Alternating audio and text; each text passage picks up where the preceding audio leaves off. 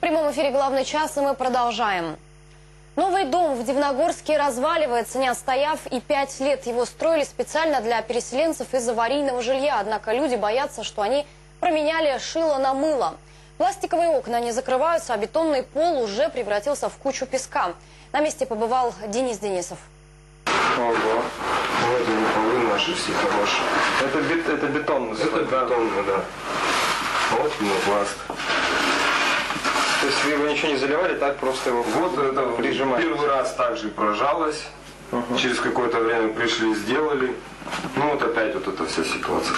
Потопы, аварии, сейсмические толчки. В доме на улице Патриса Лумумбы всего этого не было. Пол превратился в месиво из бетонного песка и пенопласта сам по себе. Зданию всего 4 года его строили специально для расселения дивногорцев из ветхого жилья. Прошло пару месяцев, и рельеф пола в квартире стал похож на красноярские дороги. Ямы, рытвины и выбоины. И это несмотря на то, что позиционировали строители это как новые технологии. Ну вот пол, заливка пола идет. Слой пенопласта. Потом раствор, ну, стяжка раствора. Потом опять слой пенопласта, стяжка раствора. Ну, вот завершающая. Ну, не знаю, почему-то раскрошилась.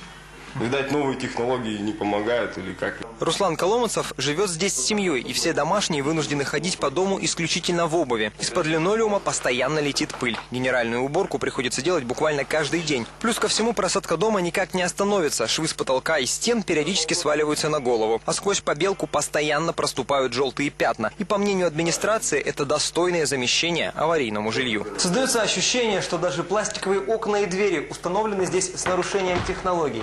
Например, вот эта балконная дверь с самого первого дня до конца так ни разу и не закрылась.